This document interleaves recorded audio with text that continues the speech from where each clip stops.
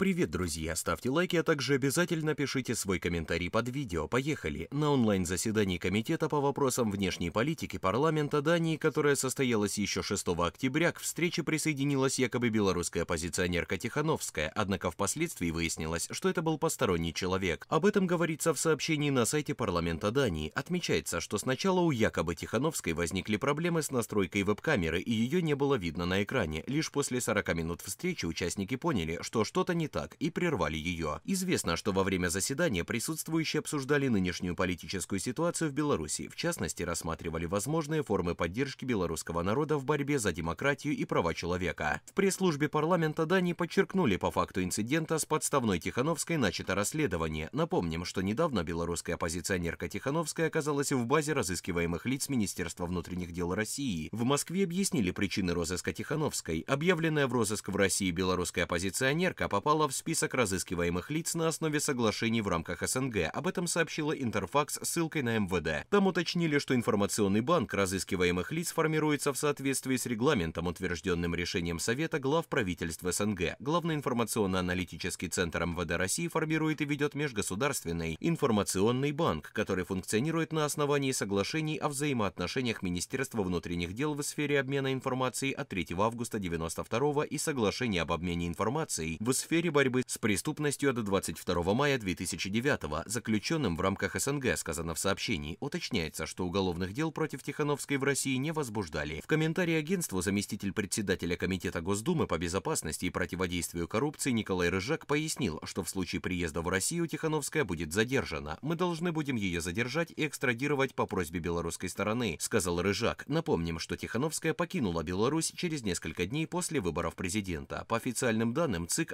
оппозиционерка набрала на выборах президента 10,1% голосов. Однако выборы назвали недемократическими, а после тайной инаугурации Лукашенко, Украина, США и страны ЕС заявили о его нелегитимности. На этом я с вами прощаюсь. Подписывайтесь на наш канал, жмите на колокольчик, а также не забудьте написать свое мнение в комментариях. Теперь газета всегда с вами. До встречи!